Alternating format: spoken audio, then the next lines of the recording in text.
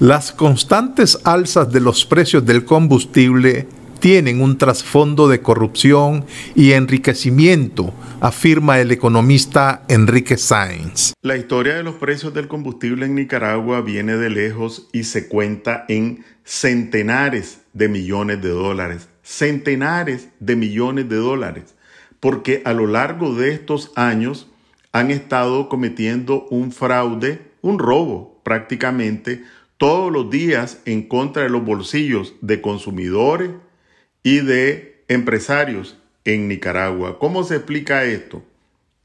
Cuando las empresas de Ortega tenían el monopolio de la importación de hidrocarburos, también tenían el monopolio del almacenamiento y compartían el mercado de la distribución de esta manera, desde el poder político, el control del INE, el control del Ministerio de Energía y el poder económico permitían imponer sobreprecios, es decir, precios que estaban muy por encima de los precios en el resto de países centroamericanos. Hay una institución centroamericana que se llama Comité de Cooperación de América Central en hidrocarburos que asocia a las distintas instituciones gubernamentales competentes en materia de combustibles, es decir, el equivalente a los INE de Centroamérica. Esta institución publica cada semana los precios del combustible en todos los países de Centroamérica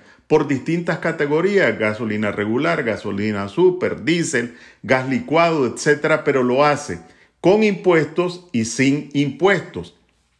Entonces, ¿cómo es que se agarra el gato?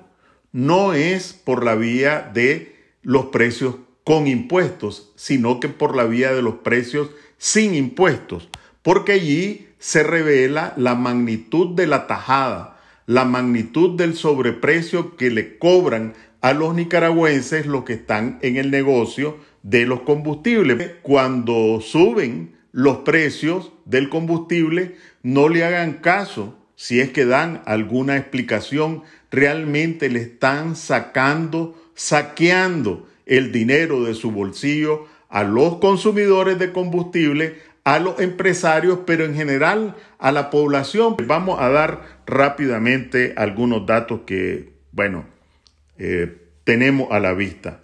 En la primera semana de diciembre, en Nicaragua la gasolina super valía 2 dólares con 40 centavos el galón. El segundo precio centroamericano era en El Salvador y valía un dólar con 90 centavos, es decir, una diferencia de 50 centavos por galón. Multiplique usted por el consumo de gasolina super por mes o por año. En el caso de la gasolina regular, el segundo lugar también lo ocupaba El Salvador. En Nicaragua valía 2 dólares con 32 centavos y en El Salvador un dólar con 77 centavos, es decir, 55 centavos de dólar de diferencia. Y en el diésel el segundo lugar lo ocupaba Costa Rica. En Nicaragua valía 2 dólares con 15 centavos y en Costa Rica un dólar con 88 centavos. 27 centavos de dólar con el segundo precio en Centroamérica. ¿Qué ocurrió en la primera semana de enero, un mes después? La super pasó en Nicaragua a 2 dólares con 57 centavos y en El Salvador a 2 dólares con 7 centavos. Es decir, ambos países elevaron los precios, pero siempre se mantuvo la diferencia de 50 centavos. En el caso de la regular, en Nicaragua subió a 2, a dólares con 49 centavos.